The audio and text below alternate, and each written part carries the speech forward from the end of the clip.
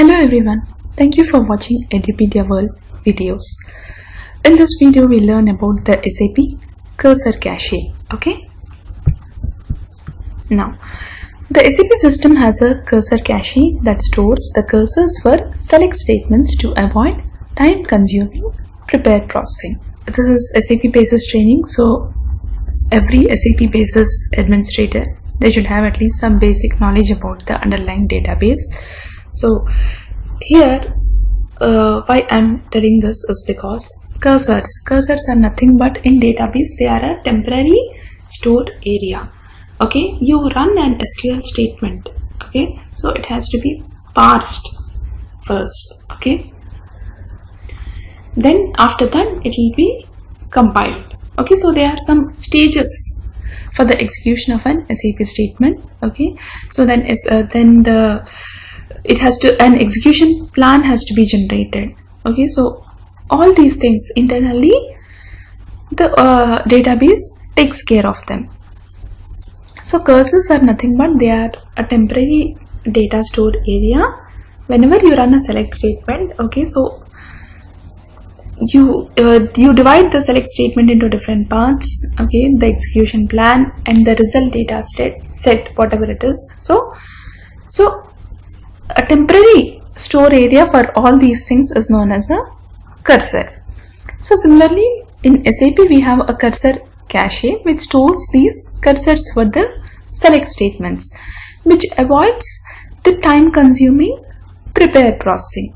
Say like for the same statement if the execution plan and everything were already there so next time when you run the same uh, SQL statement then the plan and everything need not be generated again so such things are kept in this cursor cache and this cache has a fixed size and cannot be tuned so initially only we will set a specific size for this cursor cache the SAP cursor cache helps to improve the system performance by reducing the number of parsing of SQL statements. It is database dependent. Okay. So first during the execution phase of an SQL query, the first thing is parsing. Okay. See like you execute an SQL statement, so it's parsed. Okay. And that is kept in this cursor cache. So the next time when you run the same SQL statement, you need not parse it again because it is it, it is time consuming. Okay, so you will reduce the amount of time which will improve the performance. Okay, because that the parsed statement is already there in the cursor cache. So next time whenever we run the same SQL again and again, it will be easy for us. And we have two types of cursor caches. One is the statement id cache and the other is the actual statement cache. Okay? So for every SQL statement we have the and cache which holds the statement id and second one is we have the actual statement cache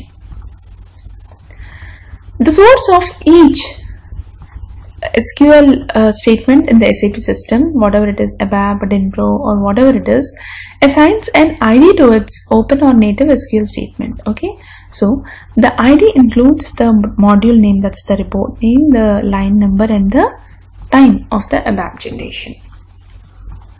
Okay, so every SQL statement has an ID.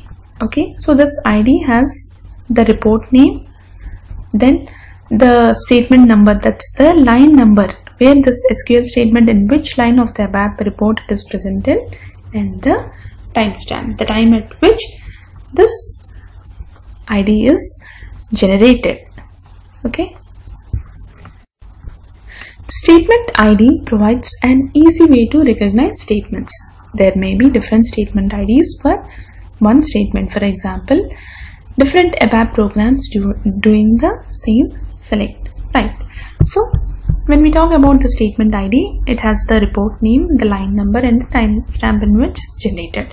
So the same sql statement can be used in different abap reports.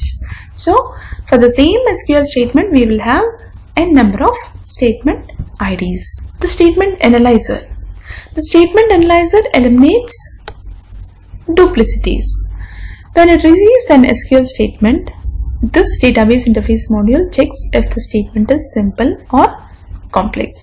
If the statement ID is simple, it assigns a normalized statement ID. This analyzer is called by the RSQL or the OpenSQL interface. If it's able to assign a normalized ID, the original ID is replaced.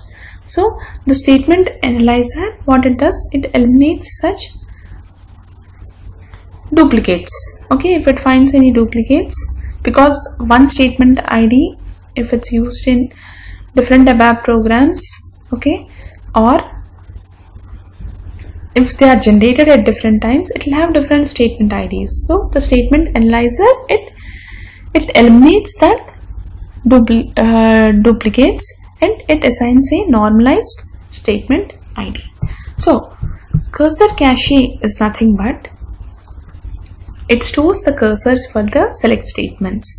So this will work very efficiently by reducing the parsing of an SQL statement. So the same statement need not be parsed again again and again. It's already once if it's parsed and if the execution plan and if everything is kept in the cursor is uh, cursor cache and then next time if you run the same SQL it is whatever that the prepare processing the parsing plan is there it will use it so it has two uh, parts the the id statement id cache and the statement cache okay so the ID points to the actual statement in the statement cache. And what is the statement ID? The statement ID is nothing but for an SQL, a statement ID includes the report, the module name, the line number and the time of the ABAP generation. Okay. And the statement analyzer, it eliminates duplicates because every statement can have n number of statement IDs. Okay. So if there are any duplicates in that the statement analyzer uh, it it filters all that so this is about SAP cursor cache so that's why initially when the system is built you have to put in a cursor cache also okay? This will if it's fine if it's the then the size should be optimal it cannot be changed again okay? And this cursor cache plays a very important role because once the statement is parsed it is kept in the cache okay? And next time if you run the same SQL the same whatever it's because it's already parsed and kept in the cache it will use it again it need not spend some time to parse it so it will improve our performance. So this is about uh, SAP cursor caching thank you